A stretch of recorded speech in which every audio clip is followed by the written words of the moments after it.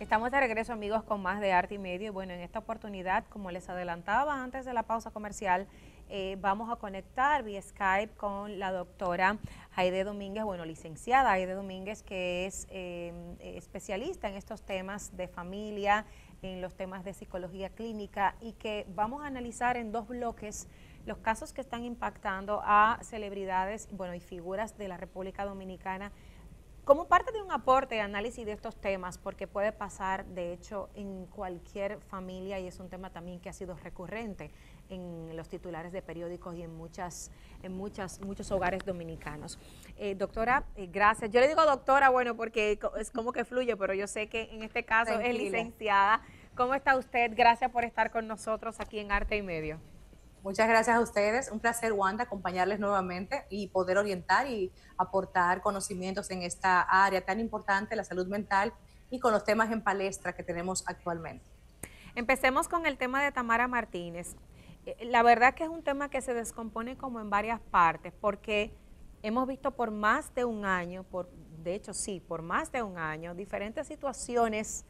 de delicadas de esta pareja, mm, donde que si se acusa de violencia, que si está haciendo un control excesivo sobre ella, en, todo esto ha sido recurrente y parece tipificarse esta como una relación tóxica. ¿Cómo, lo ve usted, eh, licenciada?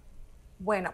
eh, voy a seguir aclarando de que, ¿verdad? Yo soy psicóloga clínica y terapeuta de parejas y obviamente me voy a enfocar en ese aspecto de la toxicidad en una relación. Cuando una pareja tiene mucho tiempo arrastrando comportamientos inadecuados y disfuncionales, entiéndase que se maltratan, que lo ventilan públicamente, que hay una alteración de la armonía natural, de la comunicación, de la sexualidad, del buen trato, las buenas maneras, estamos ante una aparente relación tóxica, como dije, disfuncional. Cuando tú tienes tiempo viviéndolo, pues podemos prácticamente acentuar de que sí, de que las dos personas tienen dificultades para poder vincularse de forma sana, de forma correcta. Entonces, esto que acabamos de conocer en los medios, de un conflicto que se ha hecho muy, muy público, muy viralizado, nos da a entender que esto es más común de lo que parece. Si las personas que tienen cierto nombre público lo expresan porque tienen el canal y tienen los contactos y se viraliza tan rápido, no se quieran imaginar lo que pasa en las personas que no lo son. Estos son temas comunes, son temas que son como cánceres emocionales en nuestra sociedad y que se dan en todas las esferas sociales, económicas y educativas. en el caso de Tamara, ella, ella, ella,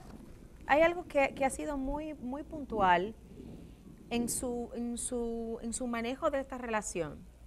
y es el cambio constante de versiones de los hechos.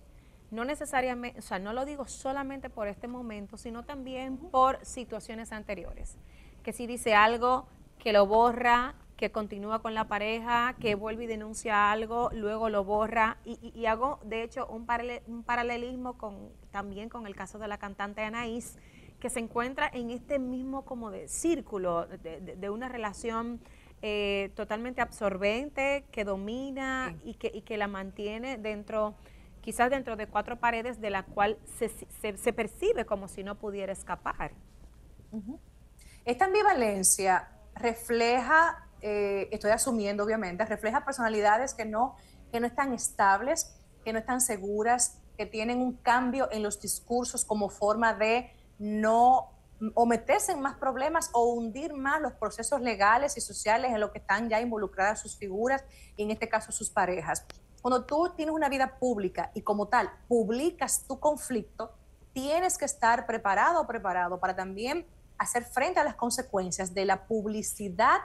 de lo que sigue después de tu conflicto, en este caso lo legal y todas las opiniones que se están emitiendo. Cuando una persona cambia constantemente su discurso, sus posturas, es una persona de poco fiar y va maltratando su branding o su marca en los medios o en, la, en el rol que desempeñe y esto entonces le va a dejar marcada todavía más, maltratada, desmantelada emocionalmente y después el proceso de sanación, pues asumo yo que deberían buscarlo para poder equilibrarse de nuevo, porque esto, esto desgasta. Desgasta el proceso que llevan eh, íntimamente y desgasta el proceso social al que son sometidas por el escrutinio y por todas las opiniones.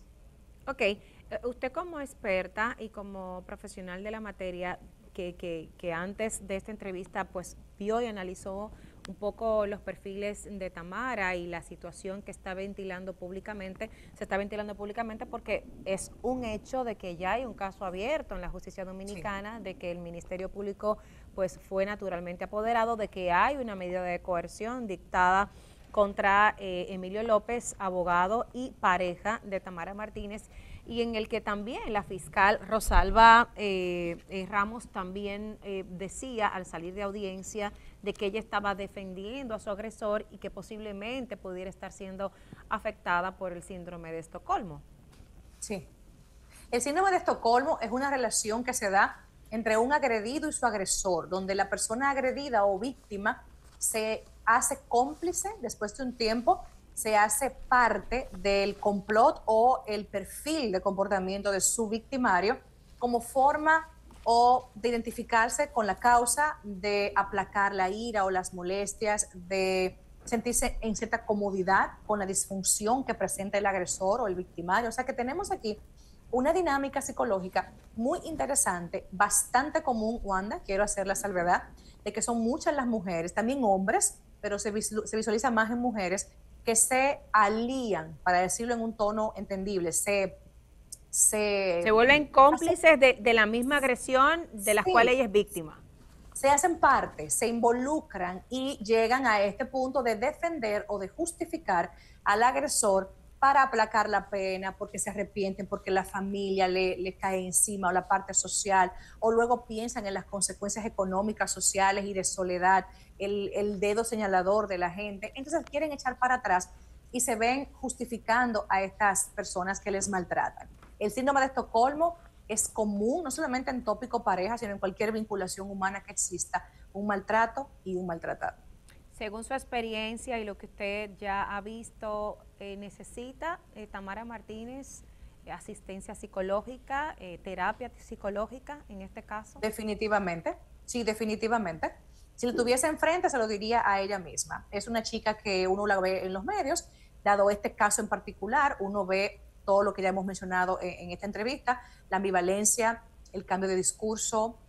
la exposición pública, el hablar de temas tan discretos e íntimos y entiendo que este perfil pinta que necesita intervención, está en una crisis, eh, eh, obviamente, y no solamente ella, la niña en cuestión, su madre que también ha opinado de su situación, entiendo que aquí hay un trabajo que hacer importante por las autoridades o si no ya a nivel privado, pero ella debe asumirse como un proyecto importante para salir de aquí y florecer después de esta desgracia.